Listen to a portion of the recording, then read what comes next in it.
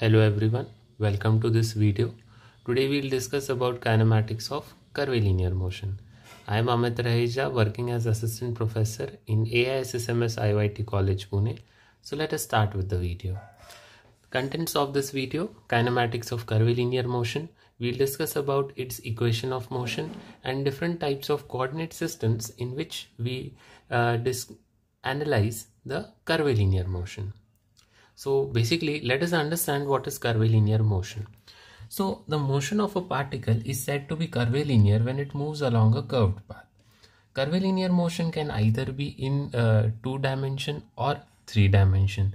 So over here you can observe the example of plane curvilinear motion and the example is in this way the motion of the particle along a curved path which lies in a single plane so you can observe in the image that the aeroplane is taking off from the airport. So for a short time uh, during the takeoff and the landing planes generally follow plane curvilinear motion. That is motion along a curved path.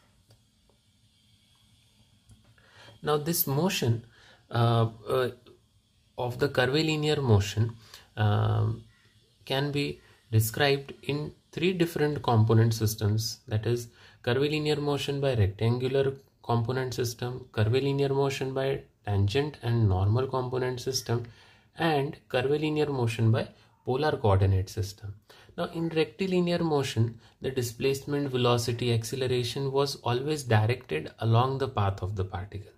Whereas the in curvilinear motion it's change in uh, there is change in its direction and that too at every instant. So therefore the analysis of curvilinear motion is done in these three different component systems. Let us understand one by one. Now rectilinear motion by rectangular component system. Now as we say analysis of motion, we basically describe the position, velocity and acceleration with respect to some axis. And uh, over here, we will discuss about the plane curvilinear motion. So let us say a particle is moving along a curved path in a plane and the position of the particle uh, is given by the point P. Now you can observe in the image given over here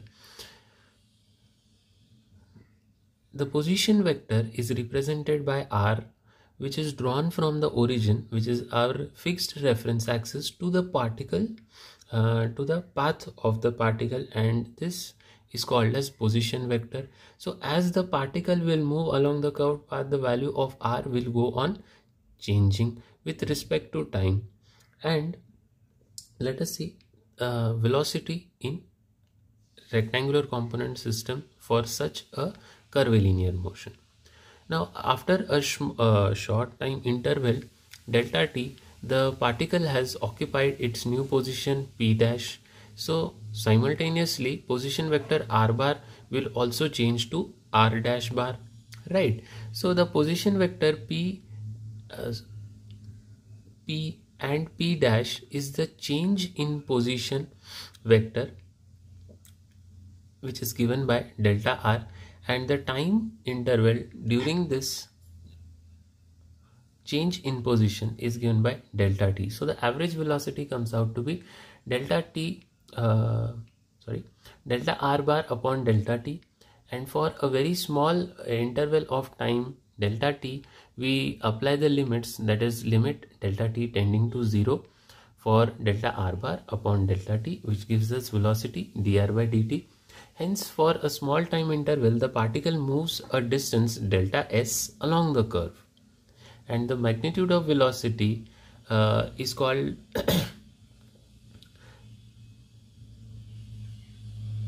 speed and is given by the relation speed uh, by finding out the modulus of v velocity vector so which is given by ds by dt in curvilinear motion, we observe that the velocity of the particle is always tangent to the path at every instant. Let us discuss about the acceleration of the same. As the direction of the velocity is changing continuously uh, at any instant in the curvilinear motion it is responsible for developing the acceleration at every instant so average acceleration a is given by delta v bar upon delta t. And if we want to find out the instantaneous acceleration then by applying limits delta t tending to 0 we get acceleration as dv by dt. Now what about the uh, rectangular component system? We have the rectangular components. That is the position vector r bar uh, is written as r bar is in the form of x into i vector plus y into j vector plus z into k vector where i j k are the unit vectors along the uh, three axes that is x y and z. And uh, similarly if I want to find out what is the velocity I will differentiate the position vector r bar with respect to time t. Uh, we will get v bar equal to dr by dt which is uh, vx that is the component of velocity along x direction into unit vector i plus vy into j vector plus vz into k vector. Similarly for acceleration a is given by dv by dt differentiating the uh, v bar equation we get ax into i bar plus ay into j bar plus az into k bar. And if we want to find out the magnitude of the position velocity and acceleration. It is simply obtained by taking the root over of uh, their components acting along the all the three directions. For instance r is given by under root x square plus y square plus z square. Velocity is given by taking the root over of vx square plus vy square plus vz square. Similarly for acceleration. Now this uh, velocity vector vx uh, an angle with the x-axis which is denoted by alpha. And uh, when once we find out the direction its relation is given in this way. Cos alpha is given by x by r which is nothing but vx upon v or ax upon a. If we are finding out the position then it is uh, this formula is used that is x by r. If we are finding out the inclination of velocity then it will be vx by v. Or if we are finding out the inclination of acceleration with respect to x-axis then it is given by ax by a.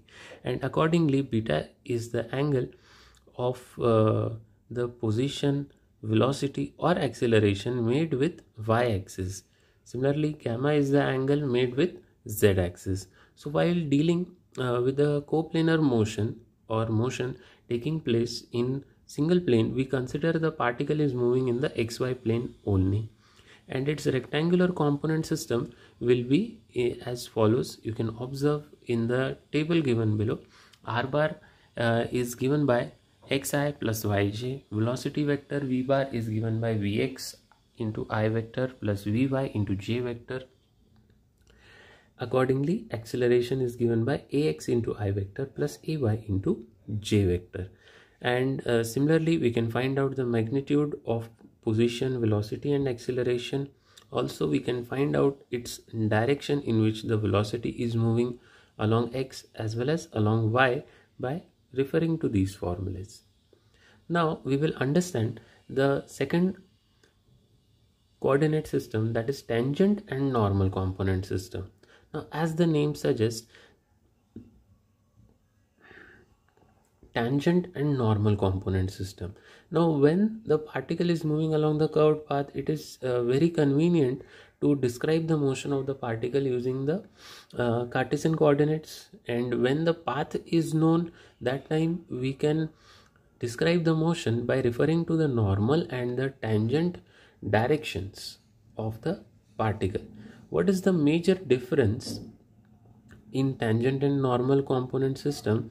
That is in the normal tangent coordinate system the origin is located on the particle. As you can observe in the image given below the particle is tracing a curved path and at any instant the origin is on the particle. As compared to the previous component system uh, we do not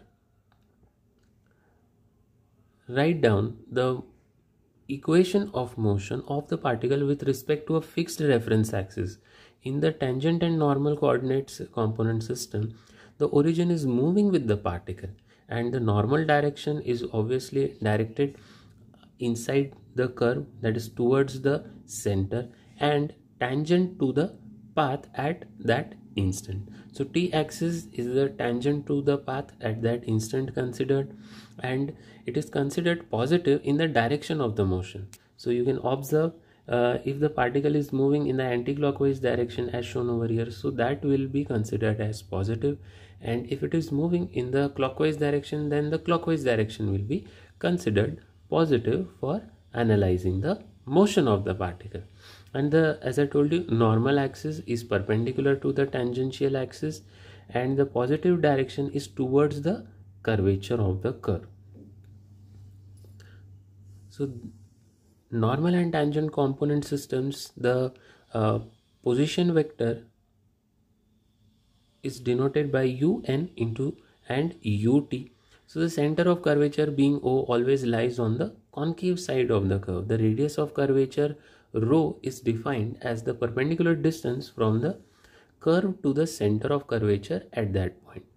So the position of the particle at any instant is defined by the distance along the curve from the fixed reference point sometimes or uh, as uh, we consider the motion of the particle so initial position and final position then the distance or uh, the distance traveled by the particle will be the difference of the initial position uh, difference between the final position and the initial position. Now velocity in the normal tangent coordinate system is uh, velocity vector is always along the tangent to the path. So the magnitude is determined by taking the time derivative of the path function which is uh, given in terms of time t. So v velocity is equal to v into ut whereas where v is given by s ds by dt. And this is the scalar speed. So here v defines the magnitude of velocity that is speed and ut defines the direction of the velocity vector. Now coming to acceleration. Acceleration is given by different of uh, the change in velocity over the time period.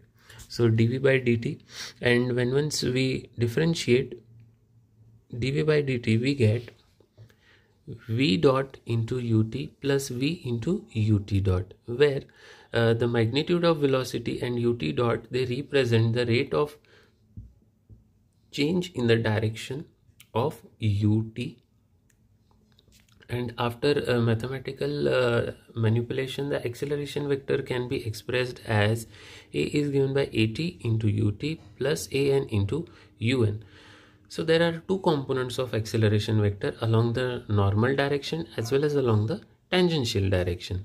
So the tangential component is the tangent to the curve and the direction of increasing or decreasing velocity so the tangential component is basically the is uh, basically denoting the direction of increasing or decreasing velocity. That is change in velocity. And the normal and the tan component of acceleration is always directed towards the center of curvature and is given by an is equal to v square by rho where v is the velocity and if we are interested in finding out the magnitude of acceleration it is given by taking the root over of an square plus at square.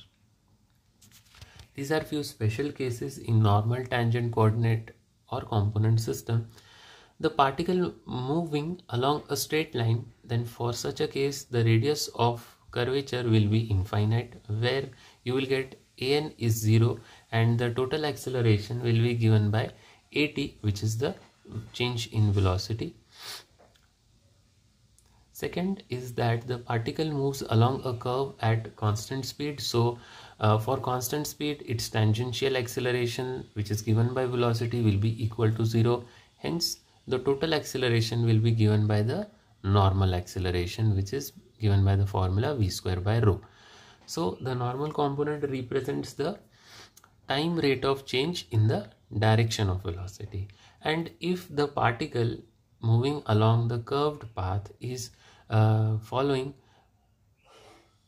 constant or uniform acceleration then in that case our tangential acceleration uh, is calculated by using the three kinematical equations s is equal to uh, initial distance plus uh, initial velocity into time t plus half into the tangential acceleration into the t square.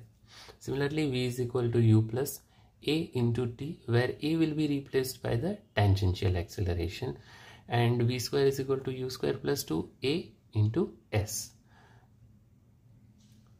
where s naught and v naught are the initial position and velocity of the particle at time t equal to 0 however uh,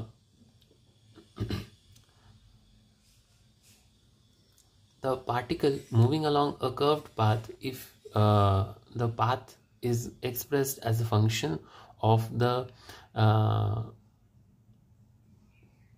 x then the radius of curvature rho at any point is calculated by the formula rho is equal to 1 plus dy by dx bracket square raised to 3 by 2 divided by d2y by dx square. That is we basically find out the uh, differentiation of the equation of the curve which is given in the form of x that is y as function of x. Thank you